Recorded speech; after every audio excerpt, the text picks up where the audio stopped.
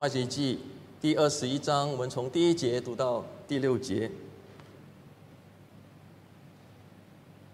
你在百姓面前所要立的典章是这样：你若买希伯来人做奴仆，他必服侍你六年；第七年，他可以自由白白的去出去。他若孤身来，就当就可以孤身去。他若有妻，他的妻就可以同他出去。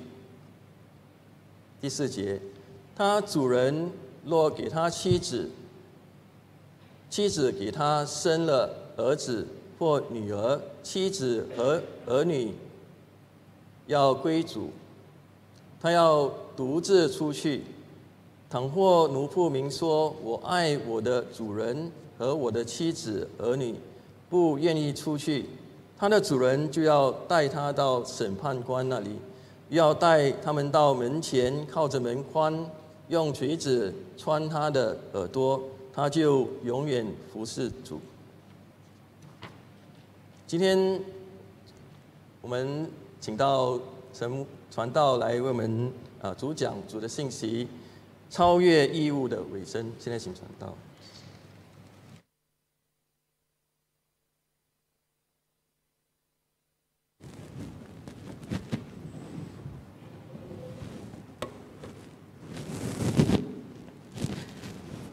主内弟兄姐妹们平安。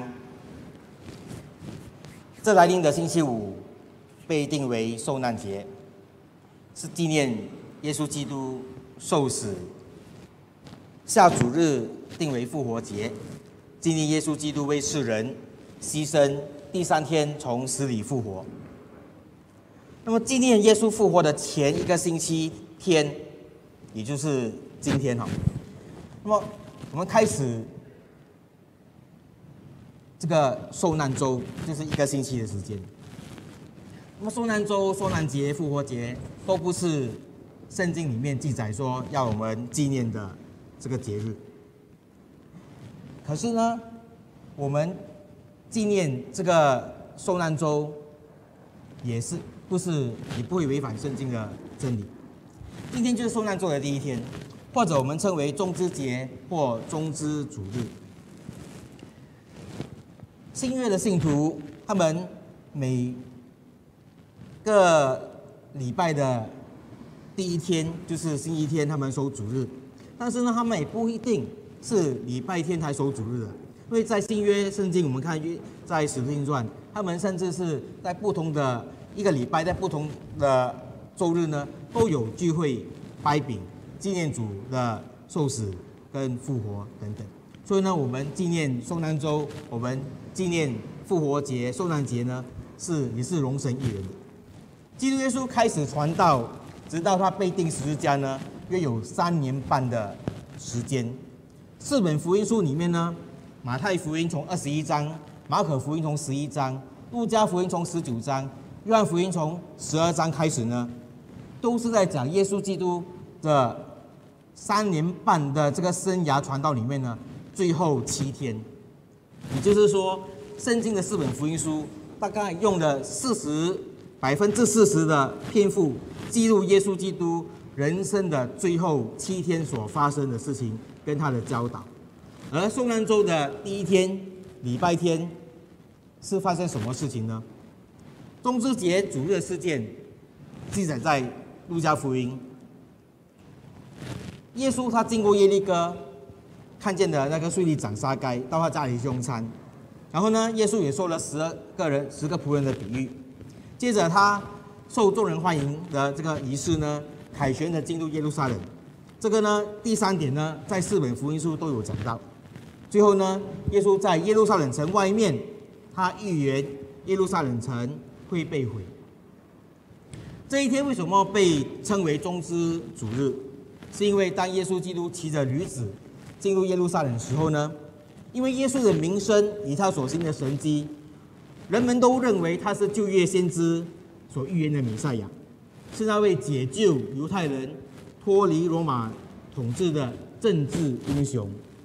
相比近代历史人物的话，就如中国的孙中山、毛泽东、台湾蒋介石、新加坡的李光耀等等。当时犹太平民百姓拥护耶稣基督，他们按照犹太人的传统，拿着棕树的树枝挥舞来欢迎国王这样的一个仪式，欢迎耶稣进入耶路撒冷城。可是犹太人的宗教领袖却嫉妒耶稣基督，想要除灭他。当耶稣被抓、被拿去审问的时候呢，那些拥戴耶稣的人的梦想破灭了。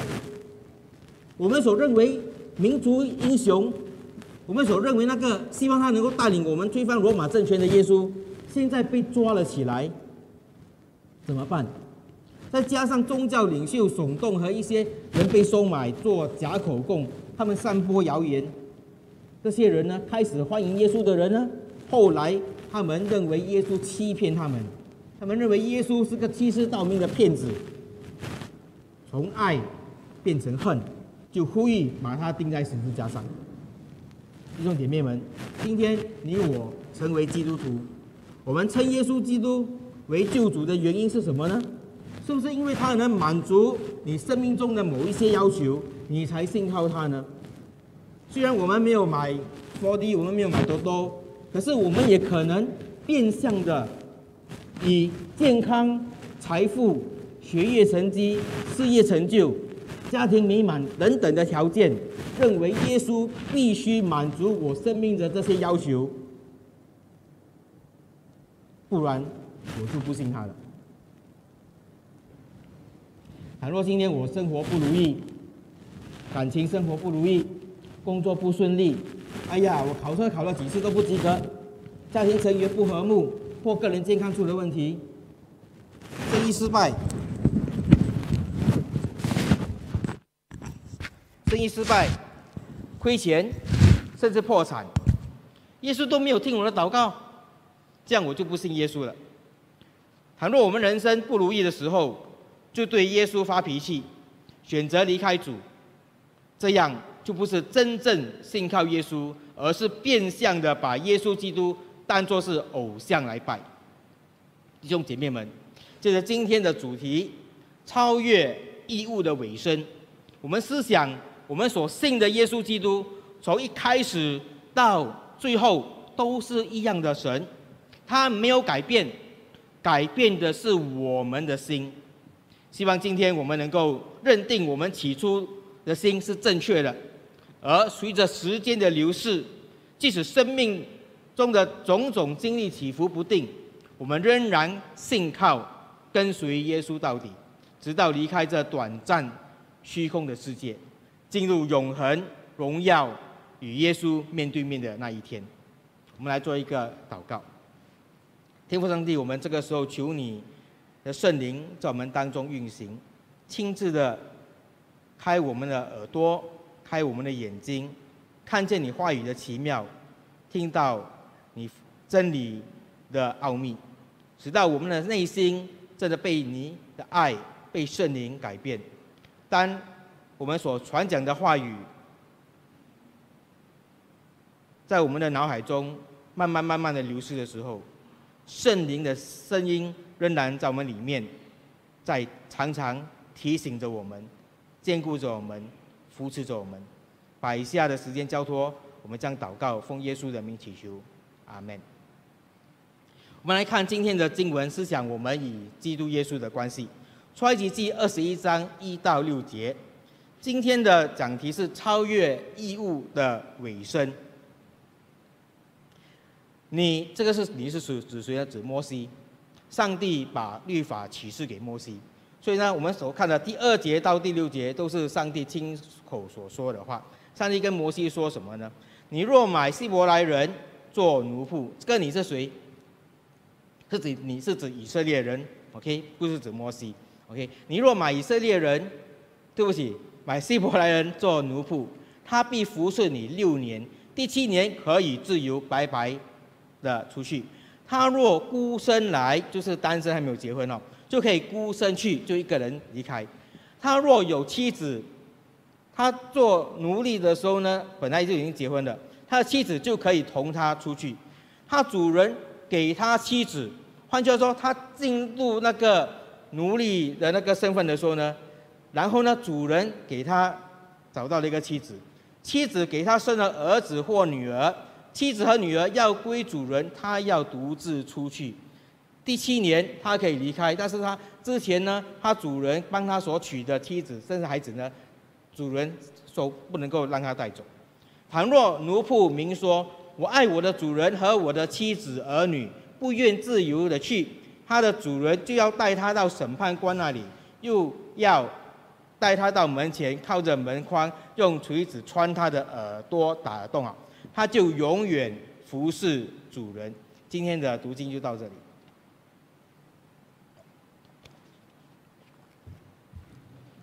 今天的经文背景呢，是上帝颁布律法给摩西，吩咐以色列人如何处理生活的种种的事情，而第一节到。第二节到第六节，甚至以下呢，都是讲到一个奴隶的制度。这里是在讲主人要如何以奴仆在工作上的条款原则。奴仆可以是男的，也可以是女的。女奴仆，中文圣经通常翻译为婢女。啊，如亚伯拉罕的老婆撒拉有婢女夏甲。雅各的老婆利百加和拉杰各都有自己的婢女。OK，呀，旧约摩西时代呢，它距离我们现在大概有三千四百年的历史。哇，三千四百年，你们可以想象多远久？多，当时世界各国呢都有他们自己的奴隶的制度。圣经中无论是旧约或者新约呢，都承认主人以奴隶以仆人的这种社会的一个制度。圣经中。没有阻止，也没有鼓励这种制度。每一个时代都有他们当时公认的一个呃制度或体系，无论是政治、政府、社会、军事、经济、商业、农业、家庭、教育等等呢，不同的帝国、不同的国家呢，不同的民族种族呢，有他们不同的做法。今天我们不是来探讨啊奴隶制度是否是对还是错。或这样的思想呢？圣经，圣经到底有没有错呢？哦，因为当时候的确有这样的制度，而且上帝的启示真理的原则呢，是教导我们如何运用在我们与他的关系中。我们今天也是想如何用这样的一个制度的教导的原则呢，用在我们与神的关系，我们与教会的关系。这就是今天我要跟大家一起思想的。以色列人他们曾经在埃及做了四百三十年的奴隶生活，上帝赐福他们很会生哦。埃及的国王被称为法老，就很害怕他们的人越来越多，使得埃及人就受到了威胁。我们试想想看，比如如果新加坡允许大量的外国劳工进来新加坡工作，他们就他们不能够成为公民，但是呢，政府允许他们在他们的家人啊。一起来到这里居住，那么就在新加坡一个地方呢，一个地区呢划分给他们居住，他们那边呢自己管理自己的人，白天他们可以去全岛其他的地方工作，晚上要回到他们的那个地方居住。几十年后，这些人可能越来越多，外地人后来比本国的人数还要多，那么新加坡人就感觉到什么呢？啊，受到威胁了，大概就是这样的一个例子。同样的，当时法老王就决定。迫害他们，详情把他们奴隶起来，逼他们做苦工，可能建造王宫、建造金字塔等等。埃及人苦待以色列人，那么在这样的情况之下呢？那身体老、身体弱的呢？年纪大的呢？就很早就死了，是吗？那么强壮的也没有能力去反抗，直到上帝呼召摩西带领以色列人离开埃及。他们离开埃及的时候呢？已经是有奴隶这样这样的一个制度存在了，而且也是公认一个合法维持社会运作的一个制度。上帝启示摩西吩咐以色列人这样行呢，肯定是比当时其他国家的做法还要仁慈，还要有怜悯，还还要更加的善良。请不要误会，因为上帝当时允许奴隶的制度。所以呢，上帝是残忍的，或者说，因为上帝没有废除奴隶的制度，所以呢，今天我们就鼓励推行奴隶的制度，不是这样讲的。我们也不要误解，圣经的奴隶制度好像是十八、十九世纪的时候哦，西方国家去非洲是吗？他们去抓人啊、杀人啊，么把那些黑黑人抓起来，贩卖到不同的国家为奴隶。当年西方国家这样的做法呢，是不符合圣经的原则的。而且后来美国也发生了内战，他们后来也废除了奴隶的制度。我们从圣经所启示关于对待奴仆，可以看到上帝的什么属性呢？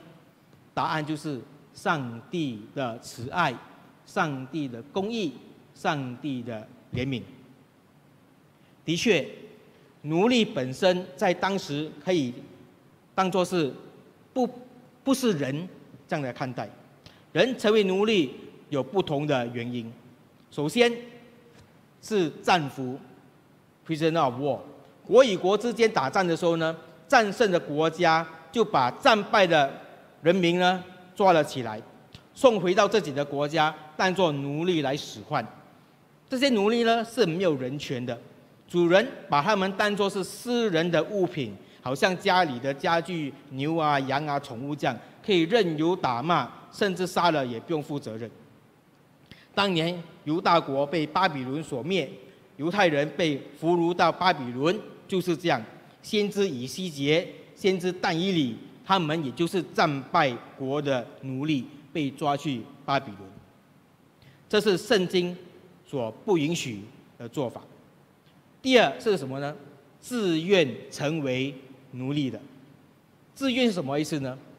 当时社会制度。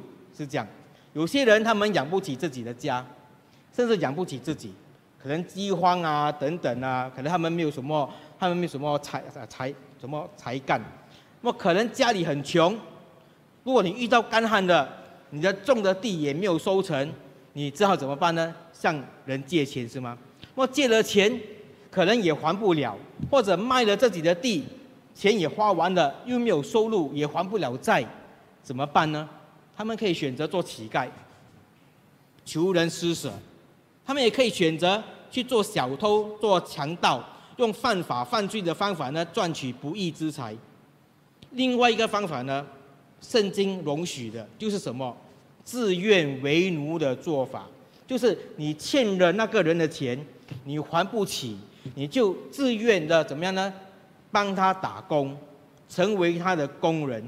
这就是第二节第二。第二点所说的，自愿成为奴仆，我们一起来看二节三节。你若买希伯来人的奴仆，他必服侍你六年，第七年可以自放他自由，白白的出去。他若孤身来，就可以孤身去；他若有妻，他的妻就可以同他出去。很简单明白，圣经距离我们是几千年的历史。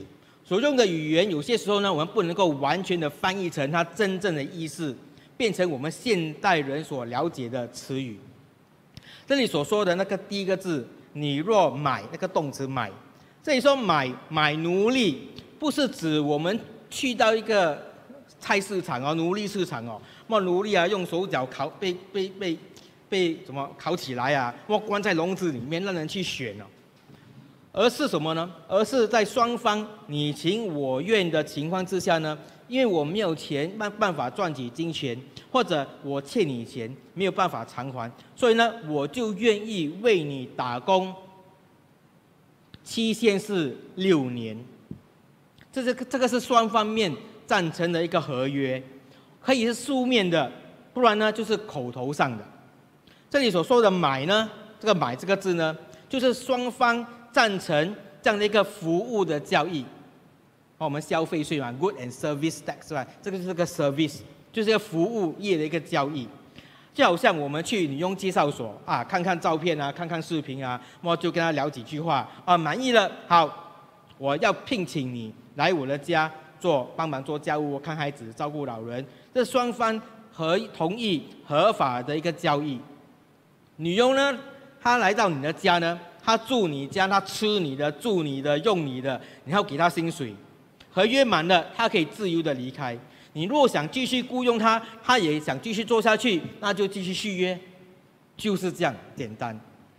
在古代呢，没有所谓的大公司、大财团、跨国企业，多数都是家族的企业，以家庭为中心的。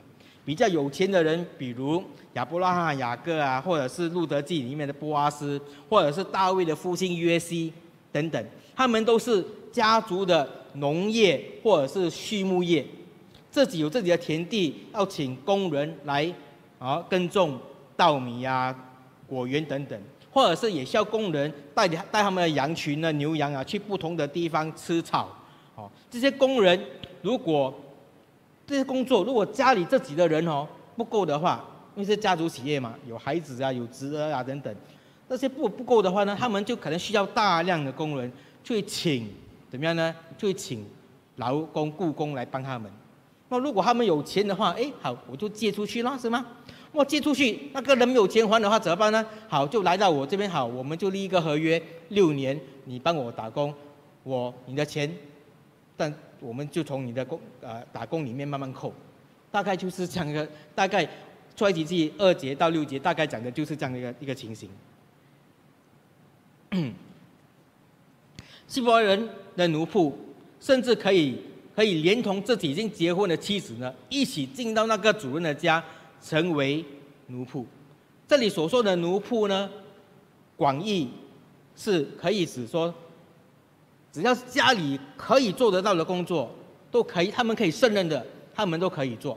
比如家里的管家，哇，管家很大嘞，他不只是所谓的管家，就是可能是一人之下，是吗？所有人之上，他可以管其他的奴仆，甚至他也可以什么呢？帮忙主人管主人的孩子，权力很大。诶，他们服侍主人，包括家里的大大小小的事情。有些奴隶很聪明，甚至可以帮主人做生意，甚至可以帮忙在家里呢做小主人的老师。有些强壮的，甚至可以做什么呢？做私人的保镖，做打手，甚至可以携带武器，做主人的私人的军队。哇，能想象是吗？当年亚伯拉罕他带领家里的壮丁三百个人出去打仗，把将他的侄儿罗德从敌人的手中解救出来。这三百名壮丁是什么人？就是家里的奴仆。壮丁就是肯定比我高、比我大、比我厉害。OK 呀，甚至主人也可以在他们的制度里面呢，把奴隶呢转卖给其他的主人。诶，这样合理吗？我们比如现在的什么呢？美国 NBA 的篮球员。欧洲、南美洲的足球会，他们的球员也可以转卖，是吗？同样的一个道理，弟兄姐妹们。所以呢，我们读圣经的时候呢，我们必须了解当时的时代、历史、文化、地理、政治背景，我们才能够正确的解释明白圣经的教导。所以呢，我们从这个角度来看，圣经世界里面的奴仆，并非是一件不好的事情。要看你的主人是否值得你跟从，要看你跟对人吗？身为仆人的另外一个第三点是什么？有些他们是生来就是奴仆的，为什么呢？因为你爸爸妈妈是奴仆，你生来就是在这奴隶的家庭里面。这里所说的六年的合约里面呢，身为奴隶的他，如果没有本事结婚的话呢，他的主人可以。帮他办理婚礼，他的主人可以出钱帮他找妻子，也生了孩子。可是呢，按上帝的律法呢，这个妻子与儿女呢是属于主人的奴仆来的。很可能这个妻子本身就是在同一个家里面的奴隶、奴仆，是吧？啊，两个人看了，哎，就他们产生感情，那么那个主人也很好，好吧，我就容许你们结婚。两个人，他们都是属于本来属于主人的奴仆的，在以色列的社会中呢，对待同族的奴仆制度呢，是圣经所允许的，基本上是第二点跟第三点，自愿的或者是生在这个奴仆家庭的，战俘是圣经所不允许的。那么第六年后呢，合约结束了，又怎么样呢？按照圣经，按照合约的规定，你自己一个人来。你就自己一个人走，你跟你妻子两个人来，你就跟你妻子两个人走。六年的合约满了，第七年，奴仆就是一个自由人了。如果他之前已经结婚了，他就跟妻子一起获得自由。那到时候开不开心？应该是很开心的事吗？我已经自由了。但是弟兄姐妹，我要告诉你，这个呢是因人而异的。为什么呢？我待会解释。想当年我在理工学院毕业的时候，我就签了海军，签了六年，啊，就好像这边这样哦，做了六年。合约的最后一天，我签名离开的时候哦，我还我的 Eleven B，就是那个军人的证件。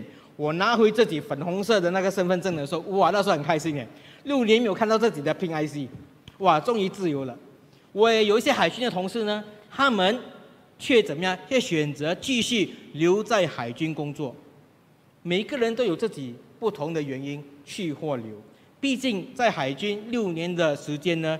你所学习到的东西呢，是军用的东西，是军事东西，在外面不一定能够用得到或找得到工作，要从头学起，从头做起。但是呢，我却决定离开。后来我在我和教育部签合约，读师训，读四年师训，教书教了十四年，从海军的奴仆，我成为教育部的奴仆。后来。我回应上帝的呼召，选择读神学。感谢主，我现在是上帝的奴仆。弟兄姐妹们，你的生命中，你以什么为你的主，你就是那个主人的奴仆。其实想一下，我们每一个人都是奴仆。公司员工是老板的奴仆，家庭主妇是家奴，父母是孩子的奴仆，有些丈夫是老婆奴，有些是守财奴。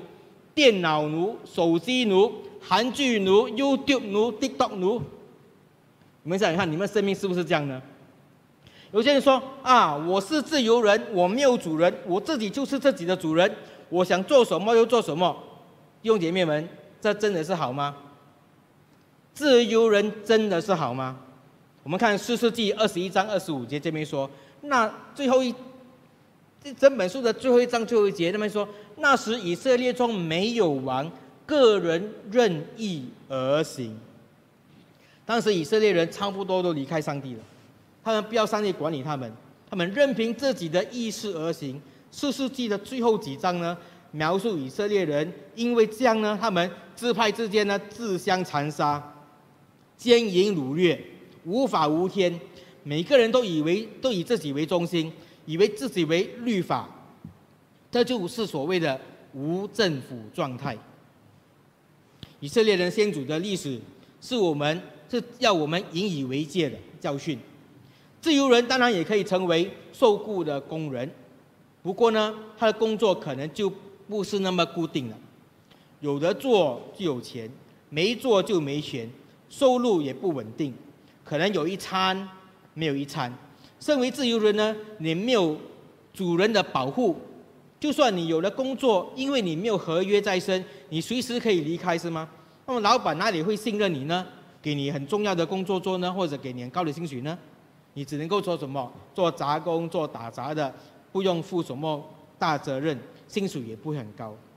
所以呢，一个有本事的奴仆，他的生活条件，他的收入，肯定比一个没有什么作为的自由人。还要好，弟兄姐妹们，我们思想第四节，他主人若给他妻子，妻子要给他生了儿子或女儿，妻子和儿子要归入主人，他要独自出去。哎呀，这样公不公平？为什么上帝要这样做呢？因为在古代以色列社会呢，婚姻往往是父母或者长辈他们安排的。没有所谓的什么自由恋爱啊，自己决定哦。当时也没有所谓的男方娶的妻子呢，要给女方聘礼，没有这样的一种习俗哦。他们是以变相，他们这样的做法呢，他是变相，就好像是女方呢，那个那个男方呢，会把一些礼物或者钱哦，来给那个男方。表示要将你的女儿呢，我跟她买过来做我的妻子，大概就是这样的一个道理。所以呢，本来他就是单身的嘛，他单身的进入这个合约里面成为主人的奴仆。那么在这六年期间里面呢，也许他跟他心仪的女奴仆心心相印、两两情相悦，主人也成人之美，安排他们结婚，甚至他们后来生孩子，哇，对那主人说是吃亏的嘞。我帮你办婚礼，我帮你养孩子，现在合约完了，你全家人拍拍屁股就走人了，我把我当傻瓜是吗？哇，你老婆跟你老公的合约的其中一个还没有满呢，你就这样走人了，哪里可以？如果你是如果你们是生双胞胎的话哦，一年生一对，六年生十二个，我帮你养十二个孩子，你每年。怀孕都不能够做工，我我不是白养一个奴隶，还白白养十二个孩子，那么你全家人这样走了，我身为主人的不是亏大本事吗？好，你要走可以，当初我帮你娶的老婆，我帮你养的孩子，你留下来不可以带走，因为你这样带走，他对我来说是不公平的。如果这期间已经自由了。你要等你的老婆或者你的丈夫合约满了，满了六年，第七年，你全家都可以走，就是这样。所以弟兄姐妹们，上帝所设立的律法，你好好的思想的话，它是保障双方面的利益，谁也不会占谁的便宜。上帝是公正的，上帝是慈爱的，上帝是怜悯的。除了选择自由人以外呢？奴仆还可以做另外一个决定，这个决定是终身的，是不可以回转的。我们看五节六节，倘若仆人明说：“我爱我的主人和我的妻子，不愿意自由出去。”他主人就要带他到审判官那里，要带他到门前，靠着门框用锤子穿他的耳朵，他就永远服侍主人了。这决定他一生是否要继续效忠于这个主人，继续在这个主人的家里面做奴仆，而他的妻子儿女也继续成为主人家的奴仆，这是很大的决定。当时的手续就是这样：主人跟仆人一起来到一个民间的领袖面前，哦，也可能是当时的祭司等等。哦，他就在那个人那个祭司那个民间领袖，就是所谓的见证人，哦，不能够口头答应，要有凭据，凭据就是穿了个耳洞，当时也没有所谓的盖手指印啊，还是什么，就是就是这样。我们注意五节里面仆人说什么好吗？第一，我爱我的主人；第二，我爱我的妻子儿女；第三，我决定。永远服侍主人。为什么他要永远服侍主人？他放弃他的自由呢？基于以上的两个原因：我爱我的主人，我爱我的妻子儿女，所以呢，我甘愿失去我的自由。弟兄姐妹们，到此时此刻，我们大概了解了《创世记》二十章、二十一章一到五节的历史文化背景。第这第六节。我们也应该了解到，上帝对于奴隶的制度是合理、是公平的。现在我们来思想，怎么样将圣经的教导原则呢，来适合的、合理的运用在新约我们与上帝、我们与教会、我们与耶稣基督的关系上面。所谓超越义务的尾声，首先我们要有一个爱主的心，我爱我的主人。我们一个爱主的心，一个奴仆不可能无缘无故的会说他爱他的主人是吗？这种爱不是用职场恋情哦，哇！我的老板又年轻又单身英俊，小小秘书爱上霸道总裁，不是什么同性恋哦。我们不要忘记，他也爱他的妻子儿女，所以呢，是因为这仆人他给主人打工六年，这六年里面他发现这主人呢对他很不错。给他很好的待遇，还帮他娶妻建立家庭，主人善待他，没有虐待他，每年还给他加薪，还给他花红，甚至还给他特权管理其他的仆人。就算他做错的事，也给他改过的机机会。主人蛮有爱心，蛮有耐心，公平不偏待人，赏罚公正、怜悯。这样的主人去哪里找？弟兄姐妹们，我们的上帝就是我们的主人，我们的救主耶稣基督也就是这样的主人。所以呢，我们要爱他。我们开始听到福音的时候，也许不是明白整个福音的真理，但是呢，我们愿意凭信心相信上帝爱我们，耶稣基督为我们的罪钉死十字架上，我们认罪悔改，接待耶稣基督成为我们的救主、生命的主。或许刚刚开始信主的时候呢，我们或多或少除了福音以外，可能会加一些其他东西，不如啊，工作顺利啊，学业进步啊，身体健康，家庭美满。甚至哇，信主要感受到平安喜乐，才觉得是真的是信主啊。那么我们希望这些东西其实是没有错的，好，但是呢，这不这些东西不是福音的重点。有些时候，因为灵性不成熟，或者是信心软弱的时候呢，我们即使我们还会继续的来到教会敬拜、侍奉他。我们相信福音呢。重点是耶稣基督的爱跟牺牲，通过我们的信心，我们的罪得赦免，与上帝和好，得到永生。因为上帝这样的爱我们，拯救我们，所以呢，我们才会回应他的爱，我们才会爱他。我们也因为爱我们的主，我们爱是因为上帝先爱我们。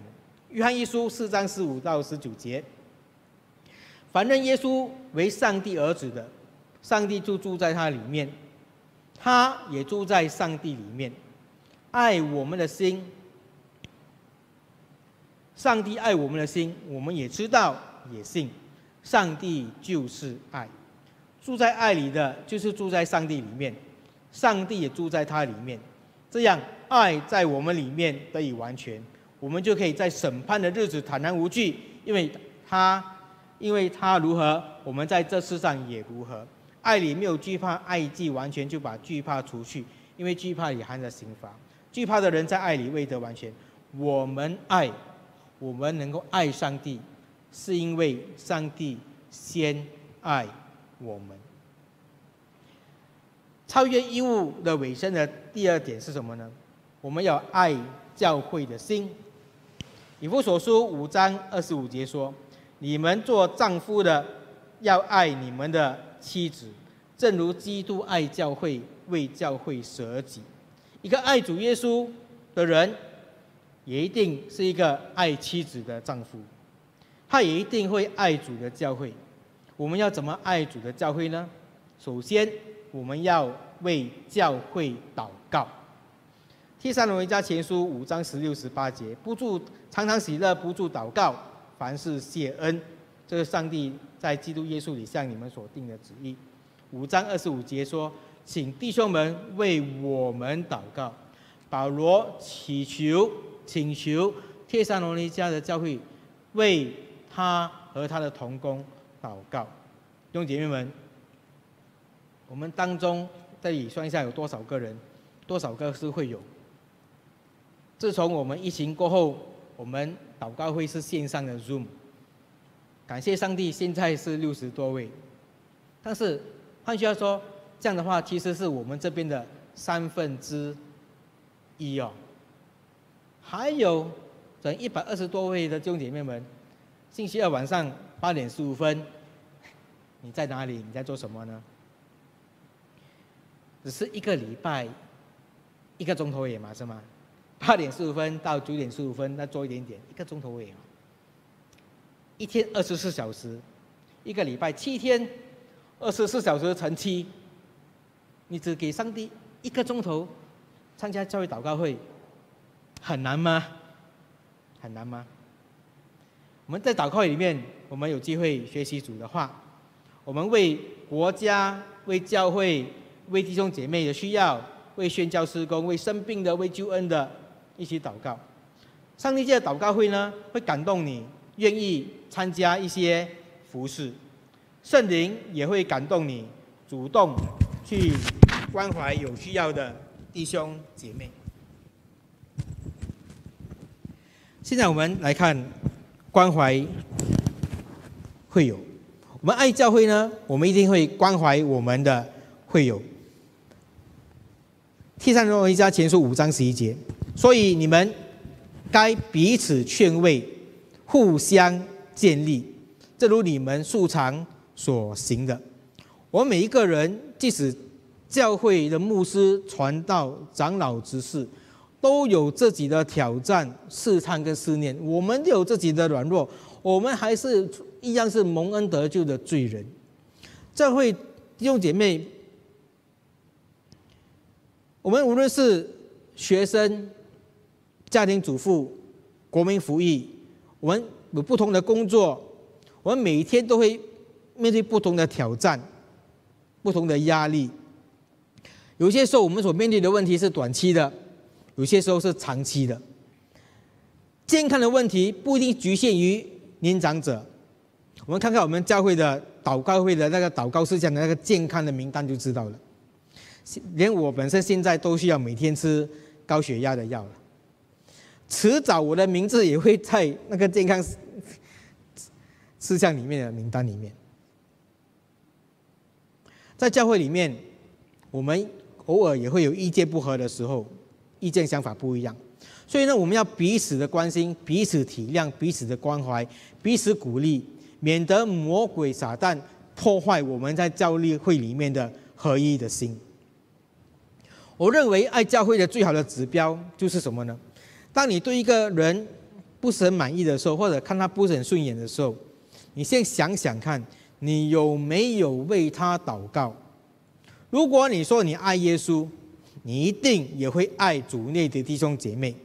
先从祷告开始。先从参加祷告会开始，让上帝借着祷告，让他的爱充满你的心，你就能够有力量去爱你周围弟兄姐妹，从内心去关怀他们，鼓励他们。即使对方不一定领情，但是呢，你还是遵行耶稣基督的教导。我们另外一点，我们要如何实践爱教会呢？就是我们要支持。教会的施工，教会是一个大家庭。教圣经形容教会为基督的身体，而教会的每一个弟兄姐妹们都是身体的一部分。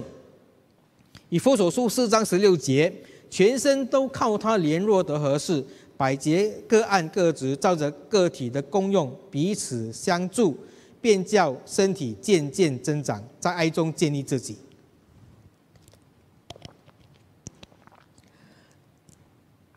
我们每一个人在教会里面，都需要以耶稣基督为中心。我们每一个人都很重要，我们各自有自己的才能，有自己的功用。我们彼此帮助，使到教会成长。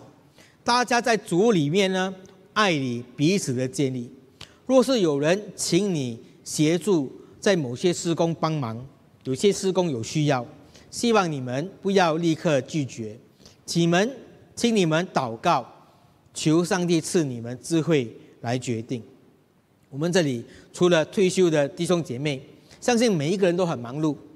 上帝既然赐你聪明智慧，读书工作，或者是有某某某某专业的才能，或者是丰富的一些社会的经验，如果有机会，要用你同样的工作的能力跟智慧、人生经验。大家彼此在教会里面呢，一起服侍、荣神一人。希伯来书十章二十五节，你们不可停止聚会，好像那些停止惯了的人，但要彼此劝勉。既知道那日子临近，就更当如此。有些时候呢，其实我们不需要一定负责什么东西的，就是说不可停止聚会，就是说我们要常常参加聚会。有教会有一些活动，我们。你本身出席就是给弟兄姐妹、给教会很大的一个鼓励了。有时候少部分、少数的负责人开始计划安排节目，但是后来呢，出现出席的人没有几个，难免会让人灰心，是吗？而有些，所以呢，有些时候有些人说啊，多我一个不多，少我一个也不少，弟兄姐妹不是这样的。如果每一个人都这么想的话呢，上帝的工作就没有人做了，就没人支持了。下面我们来看第三点，我们要有忠心侍奉耶稣到底的心。记得吗？跟那个那个仆人他怎么样呢？他愿意回到主人那边。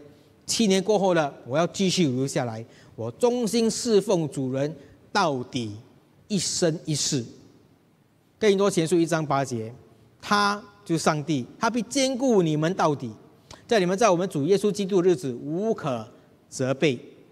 希伯来书三章十四节，我们若将起初确实的信心坚持到底，就在基督里有份。启示录二十章十节下半段，你勿要至死忠心。我就赐给你那生命的冠冕。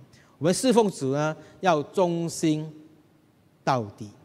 弟兄姐妹们，倘若刚开始你来教会的时候，刚信主是某种原因，但是呢，我们渐渐认识主的爱，领受圣灵的内助，重生得救，记着读圣经、祷告、听到、思想上帝的话语，参加聚会、参与侍奉，我们属灵的生命渐渐成熟。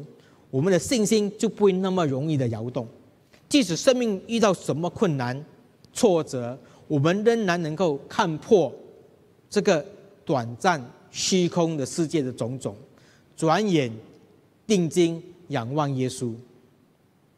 更林多前书一章八节说：“我们的信心是上帝坚固的，所以呢，真正信靠主的人，必然心信信心坚持到底。”我想用另外一些经文来给大家今天最大的安慰，就是什么呢？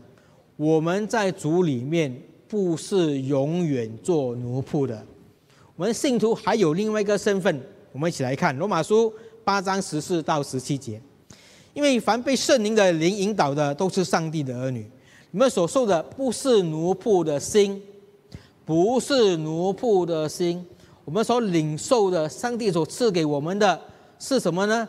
是儿子的心，因此我们叫我们天上的父阿巴父，翻译成现在的语言就是爸爸、爸爸这样的一个意思。圣灵与我们的心同证，我们是上帝的儿女。主人跟仆人要去找一个证人是吗？民间领袖成为他们证人。这边说圣灵与我们的心同证，我们是上帝的儿女。既是儿女，就是后赐，最后呢，一起同耶稣基督同得产业，同得荣耀。在古代，倘若一个主人没有孩子能够继承他的家业，他可以选择一个他所欣赏的人，他觉得可靠的人，合法的方式呢，继承他的产业。从圣经的术语，就是说呢。给他儿子的名分，这是一句话，是圣经里面的一个词，但是翻译成华文呢，我们就很长的，给他儿子的名分。这样的做法呢，英文圣经翻译成 adoption。那这如果你 adoption 这个名字这个词哦，你翻译成华语哦，领养啊，去顾客一下领养孩子，就不大恰当的是吗？所以呢，翻译是一个很大的 学问呢，也不是。这么简单的哦，那么立定终身的合约，要有见证人打耳洞为凭据。当我们成为上帝儿女的时候呢，我们的证人跟凭据呢，就是我们的圣灵住在我们里面的圣灵跟我们的心，圣灵在我们的心中改变我们的生命，使我们更像耶稣基督，而我们的心真诚的知道自己有没有。认罪悔改归向上帝。在黑书四章七到八四到七节，即是满足上帝就差遣他的儿子为女子所生，而且生在律法之下，要把律法以下的人赎出来，叫我们得儿子的名分。Adoption，你们既为儿子，上帝又差他的儿子的灵进入你们的心。呼叫阿巴父，可见从此以后你不是奴仆，乃是儿子。既是儿子，就靠着上帝为后赐。这是多么大的恩典，弟兄姐妹们！我们从外面的一个所谓的自由人，因为我们犯罪没有办法偿还我们的罪的公价，我们进入耶稣基督的这个家庭里面，得到救赎，成为他的奴仆。现在他给我们更大的恩典，从奴仆的身份变成什么呢？儿子的身份。感谢上帝，我们不是奴仆，而是上帝的儿女。因为圣灵内住在我们里面，重生了我们，给我们一个新的属灵生命，罪得赦免，与上帝和好。现今活在这个世界上，虽然还是会经历苦难、生老病死。但是呢，我们有永生的盼望，将来一天会进入天堂荣耀里面，与主耶稣面对面。弟兄姐妹们，在我先现在结束之前，要强调一些解经的运用原则哈。对于今天的经文二十一章一节到六节，我刚刚开始的时候呢，是解释经文的历史、文化、社会背景、制度等等。然后呢，尝试用现代的制度比较，让你们看他们相似的地方，让你们明白呈现圣经的原则与教导。然后呢，我们思，然后经过我思想之后呢，我领悟到了一些属灵的原则，来运用在我们的属灵生命跟上帝的关系的层面，和造就我们的灵性侍奉等等。现在我要大家听好哈，我们不可以这样讲啊，我们不可以说。创世记二十一章一到六节里面呢，主人代表上帝，不可以这样讲。仆人，主人买这仆人呢，代表耶稣的死，付出生命来讲买赎我们，不可以这样讲。仆人代表我们这些罪人蒙恩得救，不可以这样讲。妻子代表教会的弟兄姐妹，不可以这样讲。这样的解释呢是错误的。因为圣经没有这么说，但是我们可以在合理、恰当、适合的情况之下呢，适当的、灵活性的运用圣经的教导原则，在我们的属灵生活或者是现实生活中。所以今天我们就来看这个超越义务尾声，超越义务的尾声。第一，我们要有一个爱主的心；第二，我们要一个爱教会的心，为教会祷告、关心、关怀、鼓励会友，还有支持教会的施工。最后呢，我们要有一颗忠心侍奉耶稣到底的心。待会儿英语崇拜刘永金牧师也会分享今天同样的这个题目，同样的这个经文。在我准备这篇讲道之前呢，我大概有跟他大略讨论一些重点。我相信我跟他对同一段经文的理解虽然是一样的，但是呢，我们按照圣灵所所给我们的领受跟亮光呢，一些运用上可能不大一样。希望大家待会儿也可以去上网英文的崇拜那个网页听听他的分享。那么就可以加强我们对上帝话语的认识、了解跟运用。好，我们一起做个祷告。亲爱的天父，我们感谢你赐下你的话语，让我们学习真理，让我们明白主你的慈爱、你的怜悯。主啊，求你的爱激励我们，赐我们一颗全心全意爱你的心。你帮助我们继续的反思。我们应该如何的来爱我们教会的弟兄姐妹？也帮助我们愿意的立定心智，先从参加祷告会来开始，在祷告中彼此带祷，为教会祷告。主啊，赐我们你的力量、聪明和智慧，让我们忠心的在教会愿意参与教会的不同的施工，来支持教会的工作，忠心服侍你。直到我们建主的面，主啊，愿你的圣灵给我们力量，给我们智慧，给我们悟性，直到我们能够忠心遵行你的话，跟从你，直到我们见你的面。